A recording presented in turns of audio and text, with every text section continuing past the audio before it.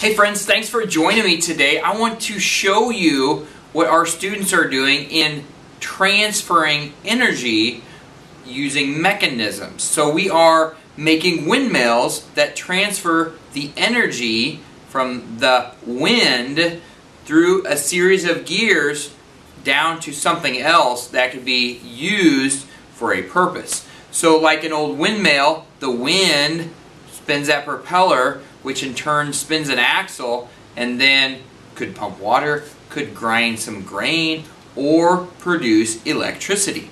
So we are making super scaled down versions of windmills, but here was the catch. They had to use only gears. No chains and sprockets, only gears. So it made it more difficult because if you know gears, gears have to mesh just perfectly in order to function well.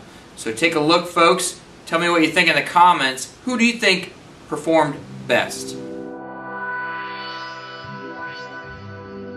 you show us how this windmill works? Hold it it doesn't fall off.